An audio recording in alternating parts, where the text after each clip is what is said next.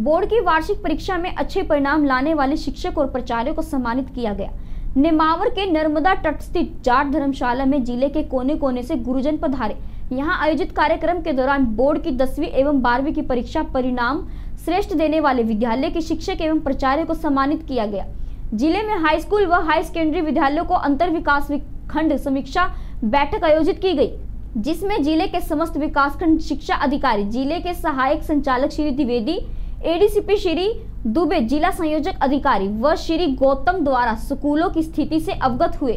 अनिवार्य सेवानिवृत्ति लेने वाले श्री गौतम एवं दिनेश पंचोली का सम्मान एवं विदाई समारोह भी किया गया।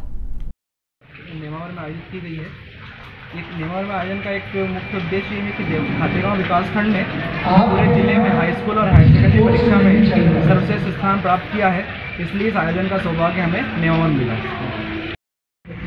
शासकीय हाई स्कूल हाई सेकेंडरी के प्राचार्यों की समीक्षा बैठक है। इस समीक्षा बैठक में दिनांक सत्रह से लगाकर तेईस तक अंतर विकासखंड स्तरीय अ, प्रत्येक स्कूल का निरीक्षण कराया गया है। जिसमें स्कूलों में चलने वाली सभी योजना सम्मिलित की गई है।